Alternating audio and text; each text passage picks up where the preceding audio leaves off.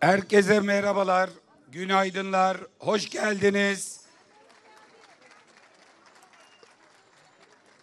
Atamızın Samsun'a çıkışının 105. yılında dün hep birlikteydik.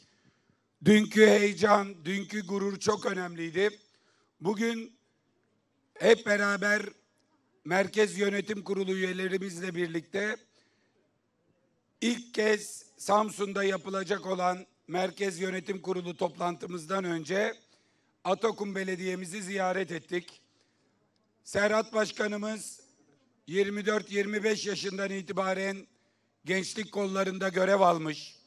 Bu yüzden de örgütümüzün göz bebeği olan parti içi ön seçimde, parti içi demokrasi mücadelesinde de örgütümüz tarafından takdir edilen, göreve getirilen henüz 41 yaşında bir belediye başkanımız. Atakum Belediyesi'nde bayrak devir teslimi yaşandı. Şimdi Atakum'u yine bir Cumhuriyet Halk Partili yönetecek. 41 yaşındaki genç arkadaşımız Atakum'a dinamizm getirecek. Atakum'a ileride hatırlanacak çok önemli hizmetler, çok önemli kazanımlar bırakarak görevinin 5 yıllık dönemini tamamlayacak. Atakumlular ondan memnunsa göreve devam edecek. Yoksa daha önce olduğu gibi bir bayrak devir teslimi yaşanacak. Ama biz Serhat'tan, ekibinden, belediye meclis grubumuzdan çok ümitliyiz. Kendisine başarılar diliyoruz. Ayrıca burası sadece Cumhuriyet Halk Partililerin görev yaptığı bir yer değil. Diğer siyasi partilerin belediye meclis üyelerine de başarılar diliyoruz. Yaptığımız iyi işlerde destek vereceklerine, bizim bir şeyi yeterli yapmadığımızı düşündüklerinde muhalefet edeceklerine, bunun da onların en doğal hakkı hatta görevleri olduğunun bilincindeyiz. Serhat Başkan Atakum'da sadece Cumhuriyet Halk Partililerin belediye başkanı değildir.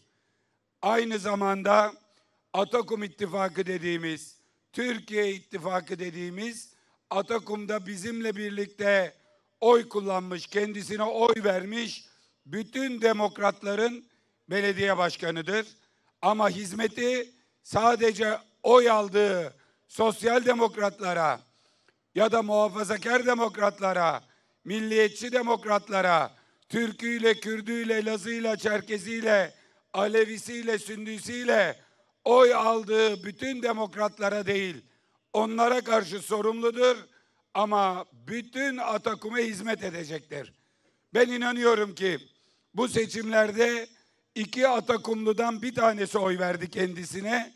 Yukarıda konuştuk, taahhütte bulundu. İlk hedefi üçte ikiyi yakalamak. Yüzde 65-66 oy oranını yakalamak. Bugün kendisine oy vermemiş ama onun adil, şeffaf, dürüst, halkçı belediyeciliğiyle kendisine Atakum'daki her üç kişiden ikisinin oy verdiği, destek verdiği bir sürecin sözünü verdi. Biz de inanıyoruz ve Atakum'a diyoruz ki bize oy veren kimse pişman olmayacak. Oy vermeyenler keşke verseydim diye pişmanlık duyacak. Bu dönem sorumluluk sadece yerel yönetime dair değil. Çünkü bizim Atakum'u nasıl yönettiğimize bakan Samsunlular yapılacak ilk genel seçimlerde bize Türkiye'de talep ettiğimiz görevi verip vermemeye karar verecekler. O yüzden burada yapılacak olan kamu hizmeti sadece yerel bir hizmet değil, Gazi Mustafa Kemal Atatürk'ün partisine çok önemli bir hizmettir. Onun partisinin Cumhuriyet'in ikinci yüzyılının ilk genel seçimlerinde iktidar olup olmayacağına burada ne yapacağımız belirleyici olacaktır. Sorumluluk omuzlarındadır. Sorumluluk onlardadır. Tabii iyi şeyleri konuştuğumuz gibi eksiklerimizi de konuşmak durumundayız. Cumhuriyet Halk Partisi Samsun'daki genel performansıyla öz eleştiri yapmaya muhtaç durumdadır. 18 belediyeden birinin kazanıldığı, bir milletvekilinin olduğu bir Cumhuriyet Halk Partisi Cumhuriyet Halk Partisi tarafından kabul edilemez. Bundan sonra oturacağız.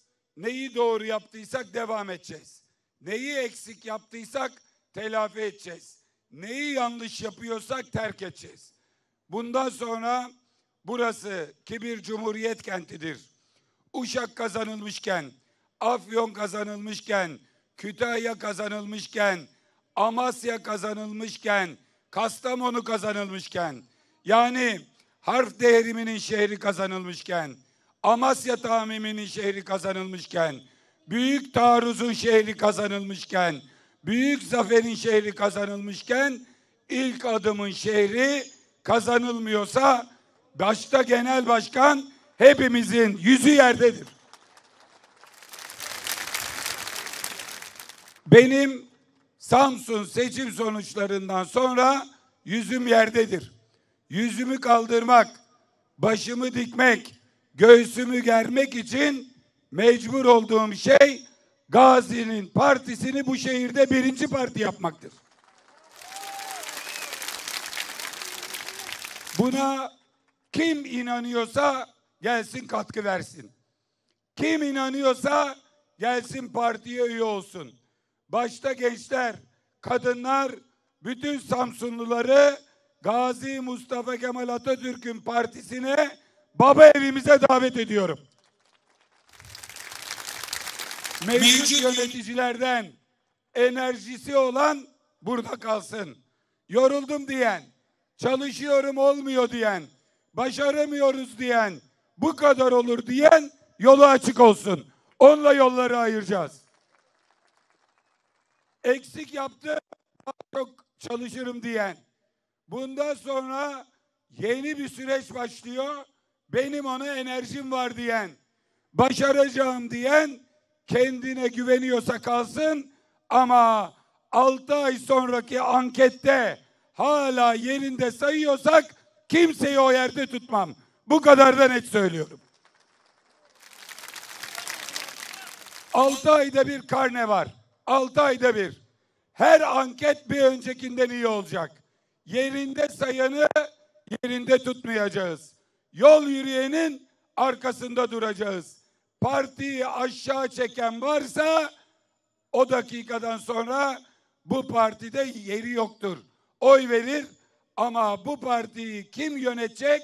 Partiyi kim şaha kaldıracaksa o yönetecek arkadaşlar. Net söylüyorum. Anlaştık mı?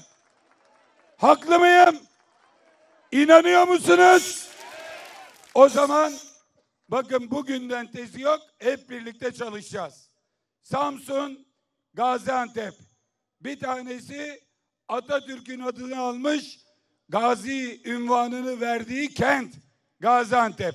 Bir tanesi de Samsun.